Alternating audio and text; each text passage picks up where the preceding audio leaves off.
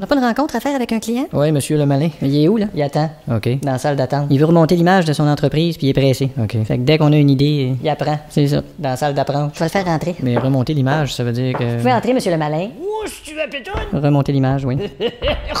Bonjour, monsieur le malin. Ouais, ils disent tout ça, ouais. Euh, l'image de votre compagnie. Ouais, ben j'ai une usine qui pollue. Mais vous fabriquez quoi? Des Irish Gilf. Euh, des? Des Irish Gilf. C'est quoi ça, des Skills? C'est radioactif, c'est non biodégradable, c'est cancérigène, ça sert à rien, puis même qu'éventuellement ça peut te sauter dans la face puis cloner ta carte de guichet. Et si bol. Oui, monsieur. C'est quoi le nom de votre entreprise? Associated Devils and Destructive for the Humanity Incorporated. OK. Nous voudrions une campagne publicitaire pour améliorer notre image, s'il vous plaît. Ouais, mais là, vous nous demandez quelque chose, là. Je le sais. C'est nous autres. J'avais le choix entre vous demander ça ou ben On vous demander de réussir un casse-tête 5000 morceaux dont le titre est Bande neige devant un mur blanc. Mais est-ce qu'il y a du positif dans votre entreprise? Est-ce que vous traitez bien vos employés? On ou- fait 500 mises à pied par semaine. Oh. C'est des pieds qui puent, là. En plus? À la place, on engage des jeunes asiatiques de 7-8 ans, on les paye pas, puis Ouf. de temps en temps, on leur donne une jambette. Mais êtes-vous déjà passé à JE, quelque chose? Passer à JE, tu dis? Oui. On est passé tellement souvent qu'on est obligé de s'enregistrer à l'Union des artistes. Écoutez, je cherche du positif, là. Sais bien. Euh, Recyclez-vous, quelque chose? Ah, tu fous, toi, tu s'en vas à la poubelle. Ben là, on Même des fois, quand j'ai le temps, je vois un bac bleu qui traîne sur le bord du chemin, je l'envoie dans le char, je vais le crisser au vidange. Mais là, vous ignorez les normes gouvernementales. Regarde, la seule affaire que je connais, moi, c'est les normes nuages noirs autour de mon usine. Ben là, c'est surprenant que ça y ait encore ouvert. Ben, c'est surprenant que vous me disiez ça, parce que la plupart des gens me trouvent pas très ouvert. Euh, on peut rien faire pour vous, là, monsieur? Oh, inquiète-toi pas, j'ai de l'argent pour payer. hein. Ouais, écoutez, c'est une question de principe, monsieur le De malin. Je principe. Je vais être obligé de vous demander de quitter. Puis je suppose que vous êtes des anges, vous autres? S'il vous plaît, monsieur le malin. Eh oui, laisse-moi le temps de prendre mes clés. Oh, il prend les tes clés, correct. Eh, vois-tu, c'est ça ton problème. Quoi? T'es trop, prends-les tes clés correctes, oui.